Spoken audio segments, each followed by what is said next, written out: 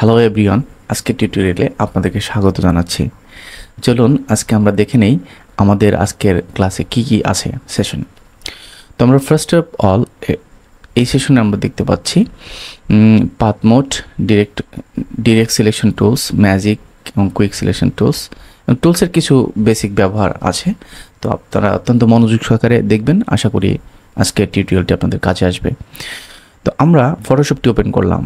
Photoshop open করার পরে আমরা যদি প্রথমত আমি শুরু করতে যাচ্ছি, তো এখানে আমরা পাত মোড এবং হচ্ছে যেটা হচ্ছে যে শেপ মোড আছে সেটা বোঝানোর জন্য প্রথমে আমাকে একটু পেন টুল সম্পর্কে বলতে হবে। আমি যদি পেন টুল সিলেকশন করি তো দেখেন পেন টুলটা এখানে যখন মোড মোড থাকে, এখানে একটা হচ্ছে পাথ মোড একটা হচ্ছে শেপ মোড আর পিক্সেল মোডও আছে।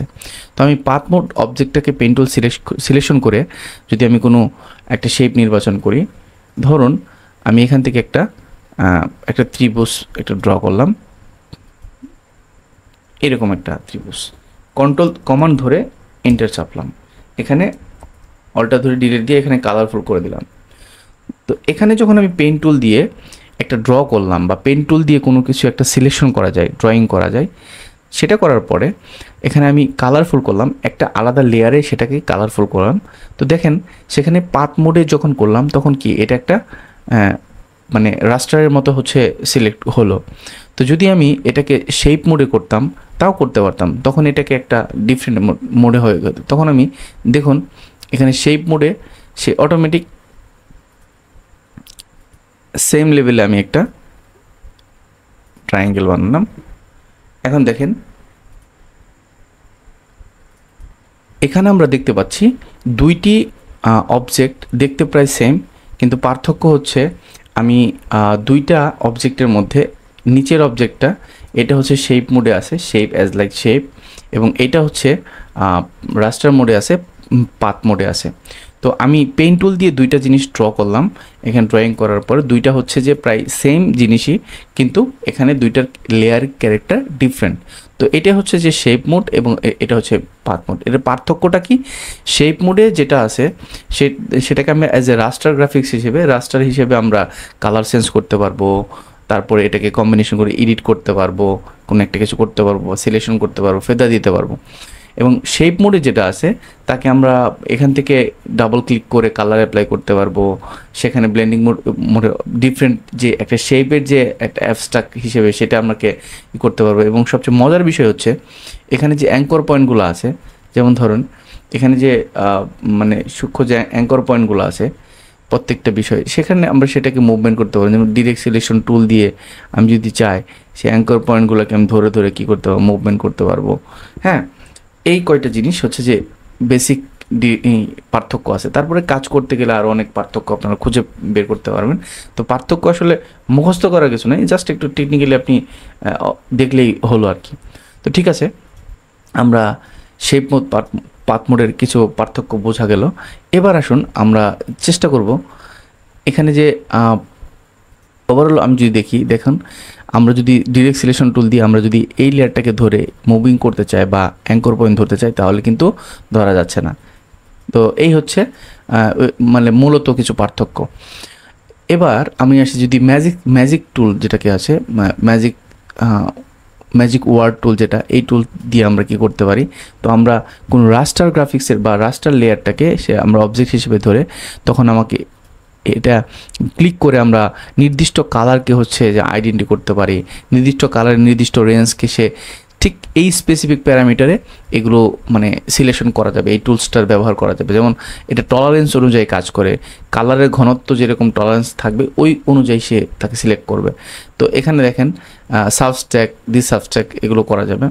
তো মূলত এই ম্যাজিক টুল এবং হচ্ছে quick selection tool object selection tool এগুলো হচ্ছে কোনো একটা অবজেক্টকে সিলেক্ট করার কাজে ব্যবহার হয়। যেমন কোনো একটা অবজেক্টকে আপনি সিলেক্ট করে ফেদার করবেন, কোনো একটা অবজেক্টকে আপনি কি করবেন ধরুন আপনি সেই অবজেক্টটাকে নির্দিষ্ট অংশ ম্যানুপুলেট করবেন হ্যাঁ?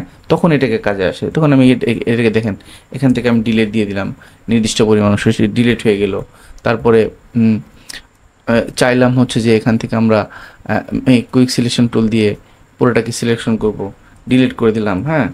এখানে অবজেক্টটা ওইভাবে ডিলেট কালারটা ডিলেট হয়ে গেল। তো এরকম কিছু কাজ আমরা ডিরেক্ট সিলেকশন টুল দিয়ে বা সিলেকশন টুল দিয়ে করতে পারি। সবচেয়ে ভালো হয় আপনারা এগুলো অ্যাপ্লাই করে করে, দিয়ে দিয়ে দেখবেন। তাহলে এটা আর একটু বেটার ক্লিয়ার হবে। এবং দেখুন, আপনারা যখন একটা জিনিস সিলেক্ট থাকবে, সেটাকে আবার আপনি, আপনার ডিসিলেক্ট করতে পারেন কন্ট্রোল ডি দিয়ে ডিসিলেক্ট করতে পারেন। আমি চাচ্ছি যে এই লেআউটটার মধ্যে আমি একটি ইমেজ ওপেন করব ওকে আমি একটা ইমেজ যদি ওপেন করতে চাই, এখানে ফাইলে থেকে যাব কন্ট্রোল ওপেন চাপবো, তো আমি ওপেন দেওয়ার পরে আমি এখানে কিছু ডেস্কটপে কিছু হ্যাঁ এই ইমেজটাকে আমি চাচ্ছি এখানে ওপেন করার জন্য। এটা আমি ফটোশপের মধ্যে ওপেন করলাম। এখন আমি ওই, এটা হচ্ছে ডিফারেন্ট একটা ট্যাবে ওপেন হয়েছে, আমরা এটাকে ওই ট্যাবে নিয়ে যাব। তো এটাকে কি করতে পারি? আমি ধরুন যে selection tool direct selection tool এগুলো ব্যবহার করে আমি এই ছবিটার ব্যাকগ্রাউন্ড রিমুভ করতে পারি। ওকে তো চলুন আমরা একটু দেখে নিই কীভাবে করা যায়।